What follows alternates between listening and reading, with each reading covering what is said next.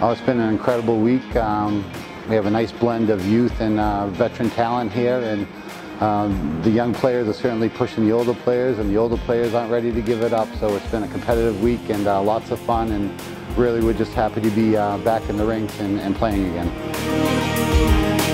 We're just trying to get a sense of where everybody is um, and, and, get a really good evaluation. Um, we have a number of players who have been with us for a very long time, who've been experienced and they're veterans, where we also have a lot of younger players. So just a, a really good evaluation opportunity to see where everybody stands. You know what, it's a, it's a joy playing out here. Um, I love being back with the teammates, some young girls in the mix, some good experienced girls in the mix, so it's, um, it's been a blast.